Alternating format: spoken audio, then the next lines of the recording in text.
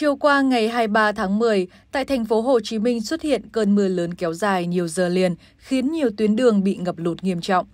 Tại quận Bình Tân, khoảng 16 giờ 30, sau nửa tiếng mưa chút xuống, nước ngập tràn vào trụ sở Ủy ban Nhân dân quận nằm trên đường An Dương Vương, phường An Lạc. Nước tràn vào các văn phòng ở tầng trệt gây khó khăn cho cán bộ làm việc.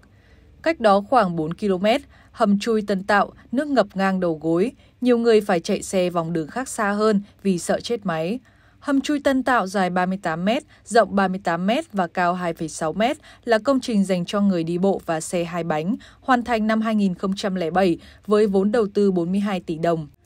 Công trình giúp công nhân của khu công nghiệp Tân Tạo và công ty Poyen qua lại quốc lộ 1A không phải trèo giải phân cách. Ngoài ra, trên đường Hồ Ngọc Lãm, nước ngập gần đến yên xe, khiến hàng loạt xe chết máy.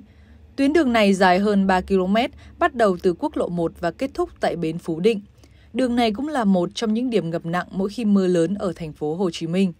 Đến hơn 19 giờ 30 tối ngày 23 tháng 10, đồng loạt các tuyến đường ở quận Bình Tân, thành phố Hồ Chí Minh như An Dương Vương, Nguyễn Thức Đường, kênh Nước Đen, Hồ Ngọc Lãm bị ngập sâu. Có nhiều nơi ngập nửa mét, khiến nhiều phương tiện chết máy, phải dắt bộ trong dòng nước đen ngòm, bốc mùi nồng nặc. Đường ngập nặng nhiều giờ không chỉ ảnh hưởng đến giao thông mà còn gây ảnh hưởng đến sinh hoạt, kinh doanh của hàng nghìn hộ dân hai bên đường. Trước đó từ 16 giờ chiều cùng ngày, toàn bộ các quận huyện tại thành phố Hồ Chí Minh có mưa rông kèm sấm chớp. Trong đó, khu vực phía Tây thành phố Hồ Chí Minh có mưa lớn, kéo dài khiến nước thoát không kịp, gây ngập sâu nhiều tuyến đường.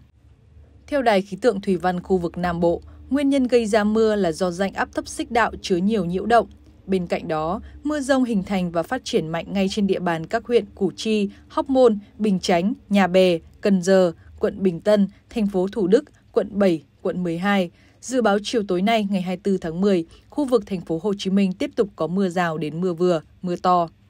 Trước đó, như thông tin từ Trung tâm Dự báo Khí tượng Thủy văn Quốc gia, đêm 22 tháng 10 và sáng sớm 23 tháng 10, ở khu vực Nghệ An đến Phú Yên đã có mưa rào và rông. Riêng Quảng Trị, Thừa Thiên Huế có mưa vừa, mưa to, cục bộ có mưa rất to. Lượng mưa tính từ 19 giờ ngày 22 tháng 10 đến 8 giờ ngày 23 tháng 10 có nơi trên 150 mm. Như Hải An, Quảng Trị 155,2 mm, Phong Điền, Thừa Thiên Huế 155,8 mm. Từ ngày 23 tháng 10 đến sáng nay 24 tháng 10, ở khu vực từ Quảng Bình đến Đà Nẵng có mưa vừa, mưa to, có nơi mưa rất to với lượng mưa phổ biến từ 100 đến 200 mm, có nơi trên 250 mm.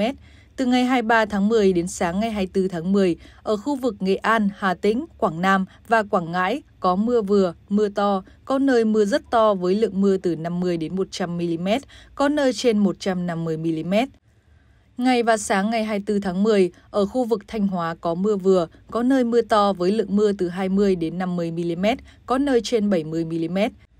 Từ ngày 25 tháng 10, mưa lớn ở khu vực Trung Bộ giảm dần, đề phòng nguy cơ xảy ra lũ quét, sạt lở đất tại khu vực vùng núi và ngập úng các diện tích lúa, hoa màu tại các khu vực trũng thấp, đề phòng mưa với cường độ lớn trong một thời gian ngắn, gây ngập úng tại các khu đô thị. Trong mưa rông có khả năng xảy ra lốc, xét và gió giật mạnh. Ông Nguyễn Văn Hưởng, trưởng phòng dự báo thời tiết Trung tâm Dự báo Khí tượng Thủy văn Quốc gia cho biết, từ 23 tháng 10, tại khu vực miền Bắc khả năng sẽ tăng nhiệt dần. Đến chiều tối, vùng đồng bằng và ven biển có thể đón mưa rông rải rác. Ông Nguyễn Văn Hưởng nhận định, tại các tỉnh miền Trung từ ngày 23 tháng 10 bước vào đợt mưa lớn, từ ngày 23 đến ngày 24 tháng 10, ở khu vực từ Quảng Bình đến Đà Nẵng có mưa vừa, mưa to, có nơi mưa rất to với lượng mưa phổ biến từ 80 đến 170 mm, có nơi trên 250 mm. Ở khu vực Nghệ An, Hà Tĩnh, Quảng Nam và Quảng Ngãi có mưa vừa, mưa to, có nơi mưa rất to với lượng mưa từ 50 đến 100 mm, có nơi trên 150 mm. Theo trưởng phòng dự báo thời tiết, Trung tâm Dự báo Khí tượng Thủy văn Quốc gia, mưa lớn ở khu vực Trung Trung Bộ sẽ kéo dài đến ngày 25 tháng 10, sau đó giảm dần. Vùng mưa lớn có xu hướng mở rộng lên khu vực Bắc Trung Bộ. Đợt mưa này có cường độ không lớn như đợt mưa từ ngày 7 đến ngày 18 tháng 10 vừa qua. Do vậy, kịch bản mưa lũ kỷ lục ít có khả năng xảy ra. Đợt mưa lớn ở miền Trung vừa qua rất nguy hiểm, thể hiện bằng cấp độ rủi ro mà cơ quan khí tượng đưa ra đối với ba tỉnh, thành phố Thừa Thiên Huế, Đà Nẵng, Quảng Nam là cấp 4, cấp độ cảnh báo rủi ro thiên tai cao nhất đối với mưa lớn. Ông Nguyễn Văn Hưởng cho biết thêm, chúng tôi đã đánh giá với các hình thế mà gây ra mưa lớn ở miền Trung trong giai đoạn mưa kỷ lục năm 1999 thì cơ bản hình thế tương tự so với giai đoạn này, nhưng cường độ gây ra mưa lớn kỷ lục ở khu vực Trung Bộ năm 1999 mạnh hơn nên đợt mưa đã và đang diễn ra ở miền Trung không khốc liệt như năm 1999 đề phòng nguy cơ xảy ra lũ quét, sạt lở đất tại khu vực vùng núi và ngập úng các diện tích lúa, hoa màu tại các khu vực trũng, thấp, đề phòng mưa với cường độ lớn trong một thời gian ngắn gây ngập úng tại các khu đô thị. Trong mưa rông có khả năng xảy ra lốc, xét, mưa đá và gió giật mạnh. Liên quan về đợt mưa lớn sắp tới ở miền Bắc, theo nhiều mô hình dự báo thì sau nhiều ngày không mưa, đến cuối tuần sau khả năng sẽ có mưa lạnh do không khí lạnh tăng cường kết hợp với rãnh gió Tây trên cao. Từ ngày 27 đến 28 tháng 10, cục bộ có điểm mưa vừa, mưa to. Trước đó, từ ngày 23 đến ngày 25 tháng 10, thời tiết phổ biến mây thay đổi đến nhiều mây, ngày có lúc hừng nắng, cục bộ có lúc có mưa, tập trung ở Nam Đồng Bằng và ven biển. Nhận định hình thế thời tiết từ đêm 23 đến 31 tháng 10, cơ quan khí tượng cho biết tại khu vực Tây Nguyên và Nam Bộ chiều tối và tối mưa rào và rông rải rác. Bắc Bộ mưa rào và rông vài nơi, đồng bằng và ven biển từ chiều tối ngày 23 đến 25 tháng 10, khả năng mưa rào và rông rải rác. Ngày 27 đến 28 tháng 10, khu vực này mưa rào và rông rải rác, cục bộ mưa vừa mưa to. Bắc và Trung Trung Bộ từ đêm 23 đến 25 tháng 10, mưa rào và rải rác rông, cục bộ mưa vừa, mưa to. Từ chiều tối ngày 27 đến 28 tháng 10, Bắc Trung Bộ mưa rào và rông rải rác, cục bộ mưa vừa, mưa to. Trung tâm Dự báo Khí tượng Thủy văn Quốc gia cho biết, từ nay đến giữa tháng 11, do ảnh hưởng của các đợt không khí lạnh kết hợp với hoạt động của giải hội tụ nhiệt đới, nhiễu động gió đông và địa hình đón gió của dãy Trường Sơn, các tỉnh miền Trung có thể đón nhiều đợt mưa vừa, mưa to.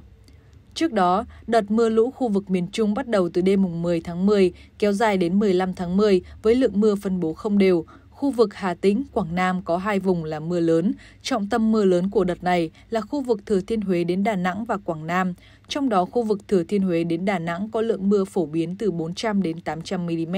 Khu vực Thừa Thiên Huế đến Quảng Nam và Đà Nẵng có những điểm mưa to trên 1.000 mm. Theo Văn phòng Thường trực Ban Chỉ đạo Quốc gia về phòng chống thiên tai, mưa lũ đã làm hai người chết tại Hà Tĩnh và Thừa Thiên Huế. 1.564 nhà bị ngập nhiều khu vực trũng thấp tại thành phố Đà Nẵng, bị ngập lụt từ 0,3 đến 0,5 mét, một số nơi ngập sâu từ 1 đến 1,5 mét như phường Thanh Khê Tây, quận Thanh Khê, tuyến đường Thăng Long, Hòa Thọ Tây, quận Cẩm Lệ, Tràn Mỹ Lộc, huyện Hòa Vang. Để đảm bảo cho người dân, Huế và Đà Nẵng đã sơ tán hơn 3.900 người đến nơi an toàn, 49 ha diện tích cây trồng bị ngập úng, Hiện lúa vụ hè thu đã thu hoạch xong, lúa vụ mùa khu vực từ Bình Định đến Bình Thuận vẫn còn hơn một nửa diện tích chưa thu hoạch. Thành phố Đà Nẵng đã cho toàn bộ học sinh nghỉ học, một số địa phương vùng thấp trũng như Quảng Điền, Phong Điền, Phú Lộc, Thừa Thiên Huế tiếp tục cho học sinh nghỉ học. Để chủ động ứng phó với mưa lớn trong thời gian tới, Văn phòng Thường trực Ban Chỉ đạo Quốc gia về phòng chống thiên tai đề nghị các địa phương chịu ảnh hưởng tiếp tục triển khai công điện số 950 gạch CDTTG ngày 12 tháng 10 năm 2023 của Thủ tướng Chính phủ về việc chủ động ứng phó mưa lũ khu vực miền Trung, theo dõi chặt chẽ diễn biến mưa lũ để chủ động, sẵn sàng triển khai các biện pháp ứng phó các tỉnh, thành phố huy động lực lượng hỗ trợ người dân ứng phó và khắc phục hậu quả mưa lũ, kịp thời hỗ trợ lương thực, nhu yếu phẩm thiết yếu cho các hộ dân bị ảnh hưởng. Các địa phương ven biển theo dõi chặt chẽ diễn biến vùng áp thấp và mưa rông, lốc xoáy, gió giật mạnh, chủ động triển khai các biện pháp ứng phó.